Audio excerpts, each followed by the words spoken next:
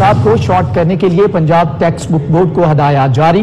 2023 में मैट्रिक और इंटर का इम्तिहान भी शॉर्ट सिलेबस के तहत लिया जाएगा। निसाब कम करने का फैसला, आइंदा तालीमी साल शॉर्ट होने की वजह से किया गया है। इस हवाले से फैसला किया गया कि नया तालीमी साल सिर्फ़ आठ माह का होगा। आइंदा तालीमी साल में बच्चों को शॉर्ट सिलेबस पढ़ाया जाएगा।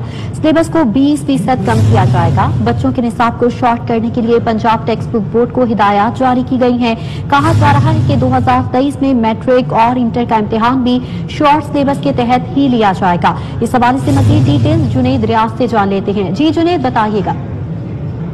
जी, क्योंकि आइंदा तालीमी साल को शॉर्ट कर दिया गया है और सिर्फ़ आठ माह का दौरानिया होगा नए साल का। तो इस वजह से 20 फ़ीसद जो है वो सिलेबस को कम करने के हवाले से स्कूल एजुकेशन डिपार्टमेंट जो है वो पंजाब टेक्स्ट बुक बोर्ड को हदायत जारी करेगा, जिसके बाद जो है सिलेबस को 20 फ़ीसद कम कर दिया जाएगा और आइंदा तालीमी साल जो कि 2023 मार्च में ख़त्म होगा।